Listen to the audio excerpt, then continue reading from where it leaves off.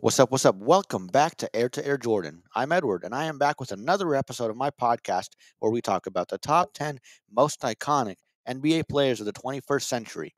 So far, we've talked about the big ticket Kevin Garnett, Steve Nash, Dikembe Mutombo, and Kevin Durant. And now we're here for episode 5 to talk about player number 6 on our list. Last episode, I mentioned that this is a special episode, and that's because we're actually going to be talking about two players who were tightly linked, not just throughout their careers, but also by blood. These two are cousins and played on 12 different teams. One of them was in the league for 22 seasons, which is an NBA record. As you probably guessed, I'm talking about Vince Carter and Tracy McGrady. Before we dive into it, allow me to reintroduce myself. I'm Edward, and I grew up playing basketball. I played, I coached, and I loved watching the NBA. So I'm excited to bring you this podcast. Without further ado, let's jump in. VC and T Mac are second cousins, and one thing I gathered from my research for this podcast is that they also have the same middle name which is Lamar. That was a crazy thing that I learned. The story of how they found out their grandmas were sisters is actually kind of funny. And they talked about it on Vince Carter's podcast. They're both from Florida. Um, they crossed paths a few times, played together in AAU ball. They met up at Chapel Hill for some pickup games in the summer of 97, which is the year T Mac was drafted. And one day that week, T Mac told Vince Carter he wouldn't be there to play ball because he had a reunion to go to. And Vince Carter said he had summer school that day. But then on that day, Vince Carter received a phone call from his grandma. But lo and behold, on the other side of the line, it was actually T Mac telling Vince Carter he found out they're second cousins. I think technically second cousins once removed. But correct me if I'm wrong on that. T Mac was drafted ninth in 1997 by Toronto after skipping college, and Vince Carter was drafted with the fifth pick a year later after spending three years at North Carolina. Uh, Vince Carter actually was drafted by the Warriors and instantly traded to the Raptors for Antawn Jamison, and that wasn't the only draft Vince Carter was involved in that was lopsided. Um, obviously, in this case, it benefited the Raptors. Jamison was good, but he wasn't on Vince Carter's level. And back to McGrady, due to his height at 6'8 and his athleticism, he was compared to players like Scottie Pippen and the Iceman George Gervin.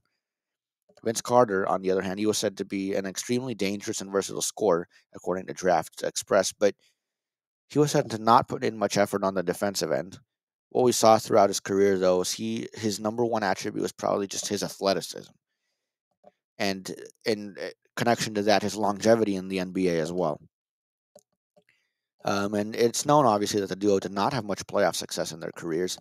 Carter made the postseason 11 times, but never got past the conference finals, which he reached in 2010 with the Magic. And T Mac is known as one of the most cursed playoff performers of all time.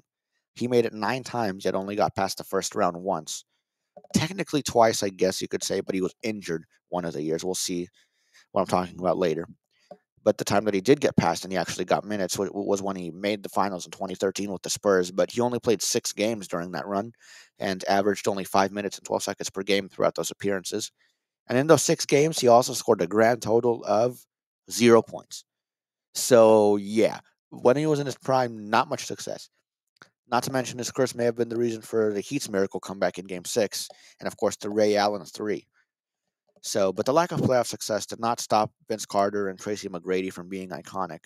So I put them on this list because of how they carved their own path to iconicism, despite the lack of success. It's not just the playoffs that make players iconic. You know, as we've gone through this list, you could probably tell that most of the players we go from players with less least cha- less championships to those with more championships, and we've been increasing. But until now, because of how iconic this duo was. And so everything started when they teamed up on the Raptors. Toronto drafted T Mac in 1997 and picked up Vince Carter in 1998, logging in two athletic wings and dynamic scores. Carter averaged 18 as a rookie and won Rookie of the Year, but his points per game average climbed to 25 the following year and stayed in the 20s the rest of his tenure in Toronto. T Mac got much less playing time and only averaged 15.4 at most, while he was in Toronto. They both did a little bit of everything, but it was their scoring that made them scary for the league. They only made the playoffs together once in 2000 and got swept by the Knicks in the first round. The success they could have had if they stayed together in their prime will never be known. Vince Carter quickly became a fan favorite because of his dunks, such as his fast break 360 against the Cavs. In 2000, Carter, of course, won the dunk contest, which we'll go into detail about later. But that victory and just his monster dunks that year are what started the Vinsanity era in the NBA. This era with Vince Carter in his early 20s, as athletic as he ever was, is really one of the things that cemented him as one of the most iconic players of the 21st century. He and T Mac played together for two seasons in Toronto until McGrady signed with the Magic at the turn of the millennium. T Mac said he left Toronto because he didn't get as much playing time as he felt he deserved, but later he did say that he should have stayed because he thinks they could have contended. And maybe they could have. They, of course, drafted Chris Bosh in the 2003 draft. I don't know if they would have had as high a pick if McGrady stayed on the team, but can you imagine that big three together? They definitely could have done amazing things, but we'll never know. Instead, T Mac and Vince Carter never really had that playoff success, and Chris Bosh won a couple championships with a different big three. So, and we'll talk about that big three later because uh, one of the players from that big three will be on this list. You could probably guess who. But, anyways, Vince Carter, in his first year without his cousin, he led the Raptors to their first ever playoff series. Because remember, the Raptors were established in the 90s. Uh, it was them and the Vancouver Grizzlies, the two Canadian teams. Now, of course, the Grizzlies are in Memphis and with averages of 27.3 points, 6.5 rebounds, and almost two blocks and two steals, Vince Carter led the Raptors past the Knicks three games to two. First round was five games at that point. In the second round against Philadelphia, the Raptors forced game seven before going down. Carter recorded a playoff high 50 points in game three to give the Raptors the 2 1 lead before they ultimately lost that series. Another fun thing about Vince Carter is that he continued his studies at North Carolina and he actually attended his graduation ceremony in May 2001, which is the morning of Game 7 against the Sixers. That's pretty much unheard of. Uh, that was not uh, in my segment, uh, but if uh, Vince Carter managed to lead the Raptors to victory in that game, maybe it would have been. But they lost, did not make the conference finals, and so it did not make my segment, even though it is a really good story either way. And after that season, Vince Carter's points per game average continued to stay in the 20s, but that was his only playoff series win with the Raptors. He's been pretty healthy throughout his career overall, but he did suffer a knee ending, a season-ending knee injury in 2002. Vince Carter stayed with the Raptors until 2004 when he requested a trade because he was frustrated with management. So T Mac, Vince Carter both had a couple frustrations there in Toronto. The story of the trade that happened, though, was actually nuts. The Raptors sent him to the Nets for Alonzo Mourning, who never played a game for the Raptors because he didn't meet the team's medical conditions. Eric and Aaron Williams, who didn't contribute much, and two picks, one of whom was a bust.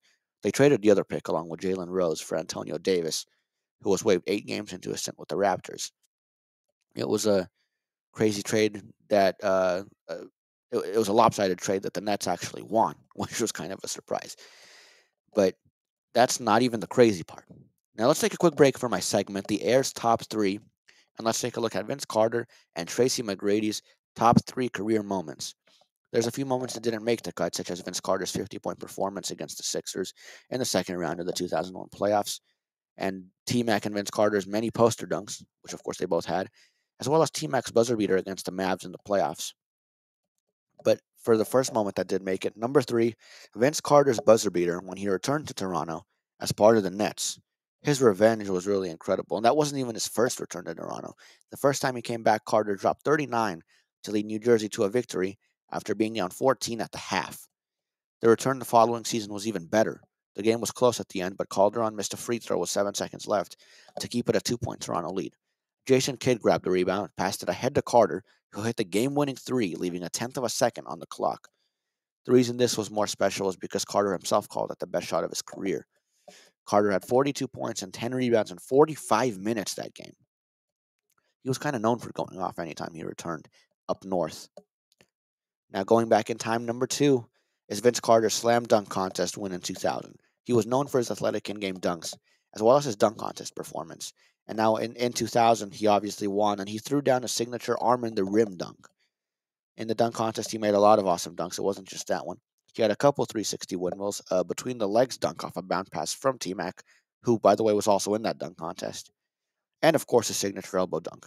He got 350s, a 49, and a 48 which is, was just incredible, and that's what won him the title. That performance by Vince Carter is what ushered in Vinsanity, like we said earlier. Um, and you know the dunk contest now wasn't the same as it used to be, but if we could get that type of dunk contest again, that could really revitalize it. If we could get somebody to do these crazy dunks like Vince Carter did, that's what we need right now because it hasn't been the same. You know, the last player I could think of who really went off like that was Aaron Gordon, and he was snubbed a couple times, but his dunks were just incredible. But back to the topic at hand. Number one is going to be a T Mac moment. And I think you all probably know what moment it's going to be. So this moment happened in 2005 when he scored 13 points in 33 seconds to help the Rockets come back to beat the Spurs. He kind of turned into Michael Jordan in that moment, which is funny because he was compared to Scottie Pippen before the draft. And that's not the final comparison we'll have of him to Michael Jordan. By the way, stay tuned. Stick around. All the Houston fans had already started leaving the arena that game because the Rockets were down by eight with less than 40 seconds to go. But then T Mac buried a three. Then the Rockets fouled, got the ball back, and he buried another three, plus the foul. Then he hit another contested three after the Spurs made two more free throws. And with eight seconds left, he came away with a steal, raced down the court, and hit another three to put the Rockets ahead.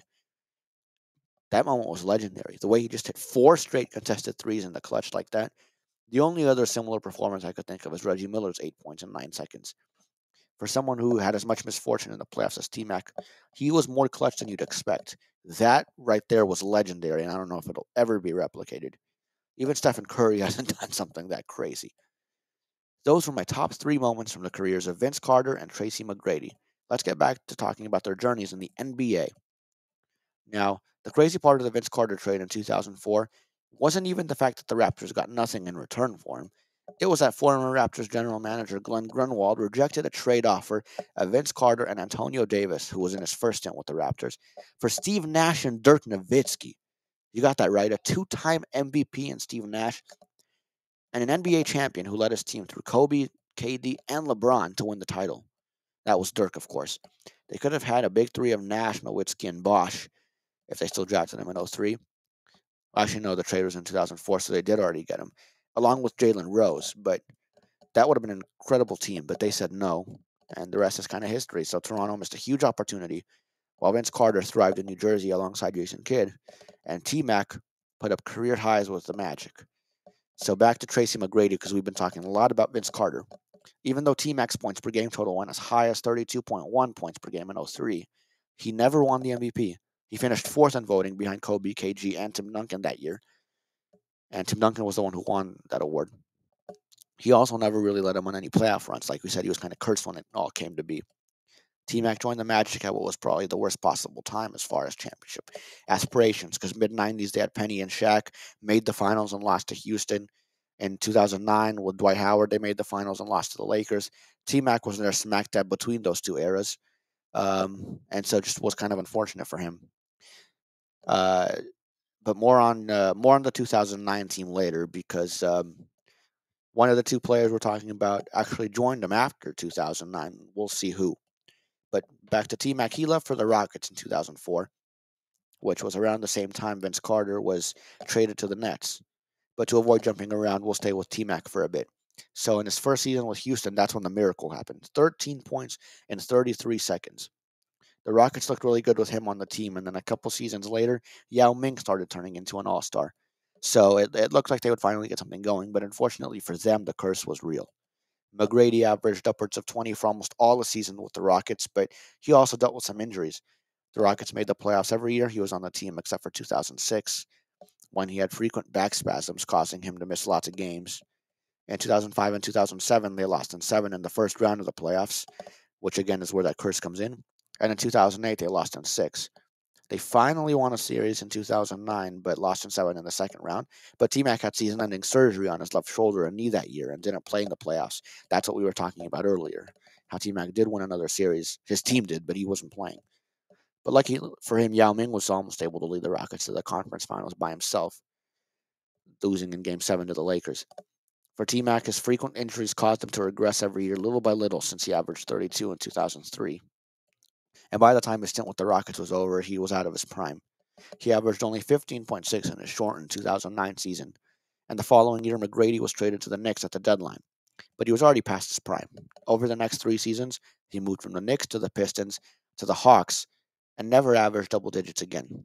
Funnily enough, he started and ended his career with the same team as Vince Carter, but of course, T Mac finished his career eight seasons earlier. And now back to Vince Carter. He played for the Nets from 05 to 09. His timeline was kind of similar to T Mac. While T Mac was over there in Houston, Vince Carter was in New Jersey. That was before they moved to Brooklyn, of course. So if I ever say Brooklyn, I apologize for mis- misspeaking. And Vince Carter led them to the playoffs the first three years, but never passed the second round. He averaged as high as 27.5 points per game, and he was exactly the type of player they were looking to pair, pair alongside Jason Kidd And Kidd was exactly the playmaker Vince Carter needed. So it seemed like a match made almost in heaven. Kidd was there through the 2008 season, and Carter left a year later. After a stint with the Nets, Carter had a history of joining teams right after they made their deepest run in the playoffs. The Magic picked him up in 2010, right after making the NBA Finals. Then they traded him to the Suns the following season, and that was right after the Suns made the conference finals. And from 2012 to 2014, he played for the Mavs, joining them, of course, the year after they won the championship. Carter dipped below 20 points per game when he left New Jersey and dipped below double digits after his final season in Dallas. Now, for Dallas, the reason they couldn't go back to back with Vince Carter, at least part of the reason, is of course they lost Tyson Chandler. And for the Magic, he made the conference finals with the Magic, who were hoping to be he would be the perimeter creator they were lacking the year before. See if T Mac was on the team still, then uh, I it would have been a way closer series against the Lakers because of course it only went to five. I don't know who would have won, but they didn't have T Mac and Vince Carter to join the season too late. But the Magic lost to the Celtics in 2010. He missed the playoffs with the Suns and lost in the first round with the Mavs in 2012. And the Mavs, of course, lost Tyson Chandler after the championship. He was a huge reason for their success the year prior. He was exactly that dominant force they needed down low. And I guess the addition of a Vince Carter, who was a bit past his prime, wasn't enough to get them back to the promised land. But after that, he dedicated the rest of his career to being a mentor for young players. He played for the Grizzlies, Kings, and of course the Hawks before calling it quits in 2020. He played in the NBA for 22 years, which, as you mentioned earlier, is a record. Now, for the accolades of the two players, Carter amassed 25,728 points throughout his career, which put him at the time 19th on the all time scoring list, but now he's 21st. We'll see if Westbrook passes him. He's the only active player who's close. His career high is 51 in the game, which he scored on two occasions. He's an eight time All Star and has made the second and third team, never the first team, though. He was also named the Twyman Stokes Teammate of the Year in 2016 and won the NBA Sportsmanship in 2020, the NBA Sportsmanship Award, I should say. And he won the Olympic gold, averaging 14.8 in 2000. That year was the year of dunks for him. Of course, that 2000, which was when he won the dunk contest. And in the Olympics, he posterized 7 2 French center Frédéric Weis. The French media dubbed that the dunk of death. Now, T Mac, his accolades, he has made seven All NBA teams, two of them first teams. He also led the NBA in scoring in 03 and 04 and was named Most Improved Player when he joined the Magic in 2001. He is also a seven time All Star. T Mac's career high is 62, which he scored as part of the Magic, and that remains their franchise record. But maybe Paolo Banchero is going to pass it, who knows? T Mac was compared more to Scottie Pippen coming out of his draft, but one thing that makes him more like Michael Jordan, as we mentioned earlier, is that he actually tried to play baseball for a bit after retirement. He's not in the MLB, though. He joined the Atlantic League of Professional Baseball as a pitcher started in the All Star game in 2014 and called it quits immediately after that game. Now, as you know, I like to talk a bit about something cool each of the players on this list does off of the court. And in 2007, while T Mac was still in the league, he traveled to Chad, a country in Africa, along with members of the Enough Project, whose objective is to end crimes against humanity. McGrady went to refugee camps in Darfur, which was in the middle of a civil war, in an effort to help kids there connect with children and schools from the U.S. He recruited other NBA players to join him as well. A documentary called Three Points was made about his humanitarian efforts. So shout out to T Mac for that. Vince Carter has done his fair share of advocacy as well, such as when he showed up for the Duquesne University men's basketball team after five of their players were shot in 2006. He has donated to many causes, and all the way back in 1998, he started the Embassy of Hope Foundation to help children and their families. Of note is that Vince Carter has also acted in quite a few shows and movies, such as Like Mike. He was also a basketball analyst for ESPN from 2020 to 2023, after which he joined Yes Network as an analyst for the Brooklyn Nets.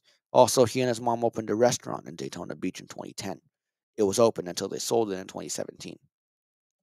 And now I'm going to end this episode by saying that Vince Carter is the only NBA player in history to play in four different decades.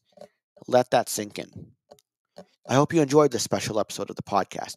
For a quick recap, Tracy McGrady was one of the most prolific scorers of the modern NBA, and Vince Carter was one of the most athletic wings the league has ever seen.